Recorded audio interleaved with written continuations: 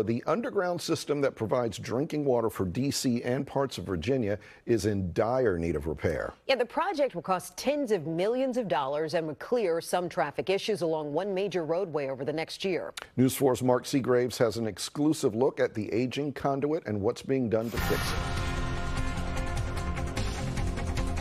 This is a look inside the underground conduit that carries our drinking water from Great Falls into the district, much of it directly beneath MacArthur Boulevard. What people don't realize is these wa this water pipe is in some cases only 12 inches under the surface of the road. So you are driving directly on top of this pipe that is uh, quite old and it's unreinforced, and so it's very important that people obey the weight limits on the roadway. An inspection in 2022 revealed problems with the aging tunnel. There's only one section that was particularly alarming. Uh, where uh, the cracks were very significant and the, the conduit itself, which is normally circular, uh, had started to compress into an oval shape at which point that's imminently uh, in, in, a state of structural failure. The U.S. Army Corps of Engineers believes the culprits are drivers in big trucks, ignoring the weight restrictions for MacArthur Boulevard.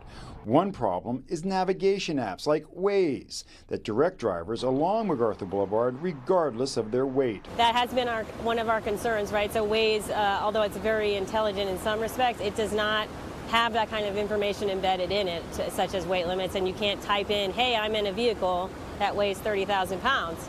Uh, so it will try to take you what it thinks is the best route. The work to repair the conduit, which was built in the 1860s, will take the rest of this year and will result in some above ground delays for drivers along MacArthur Boulevard, which will be down to one lane in some parts between Glen-Echo and the DC line. The original intake here at Great Falls operates using gravity to move the water. While the conduit is offline for a year during repairs, the backup system at Little Falls will be used. That system relies on electricity, which costs about $10,000 a day to operate.